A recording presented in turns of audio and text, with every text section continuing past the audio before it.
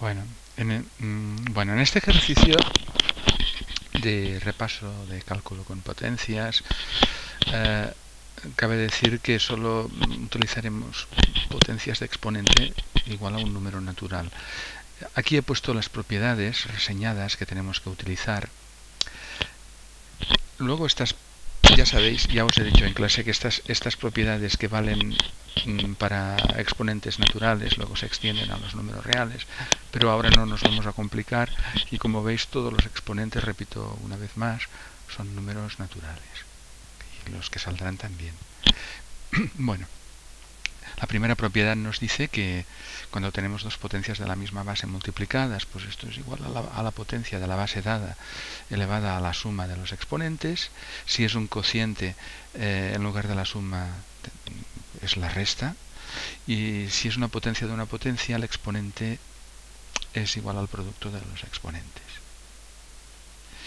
Si uh, el, tenemos un producto de dos potencias con distinta base y el exponente es el mismo, el resultado es un, una potencia que tiene como base el producto de, los, de las bases dadas y como exponente el exponente común, que en este caso es el C.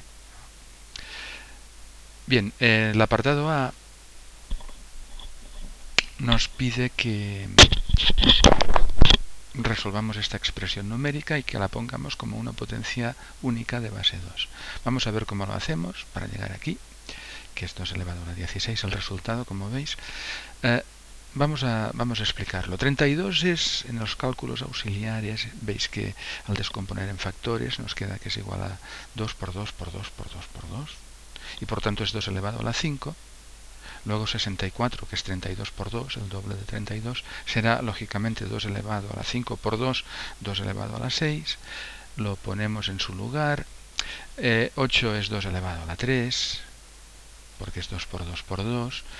Y una vez puesto esto aquí, utilizando la primera y la segunda propiedad, la primera es la del producto y la segunda la del cociente, tenemos, sumamos y restamos los exponentes correspondientes y nos queda que 5 más 6 menos 3 es 2 elevado a la 8, a la 8 elevado a la vez a la 2, que es ese 2 de aquí, queda 8 por 2, propiedad número 3 igual a 2 elevado a 16. Bueno, Vamos a pasar al apartado B. Al apartado B.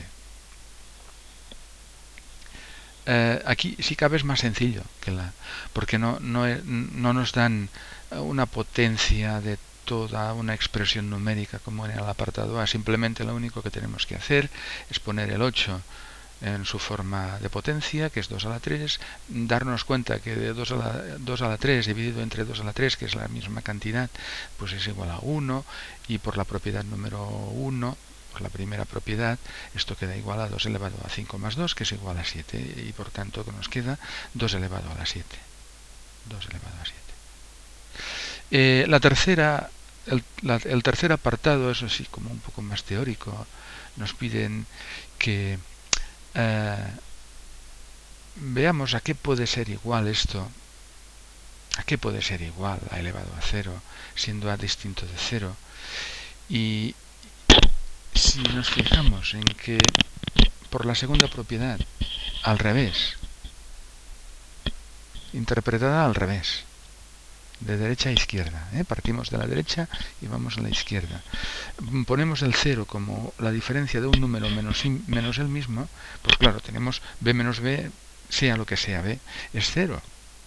Luego, a, por la segunda propiedad, repito, leída, interpretada de derecha a izquierda, no de izquierda a derecha, esto lo podemos poner como un cociente de dos potencias, dos potencias que son la misma, y por consiguiente esto es igual a 1. Bueno, y ahora faltaría aquí algo que no me he dejado de escribir, que como nos piden que lo escribamos como una potencia de base 2, pues esto es 2 elevado a 0. ¿no? Como podría, también estaría bien si nos lo pidieran como una potencia de base 3, o de base 4, o de base 5, o de base, o de base menos 6, cualquier base distinta de 0, elevado a 0, ¿Eh?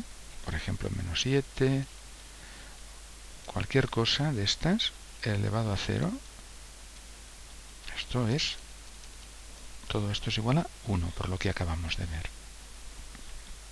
Bueno, pues aquí terminamos esta grabación de estos ejercicios de repaso de potencias de números reales en principio con exponente natural.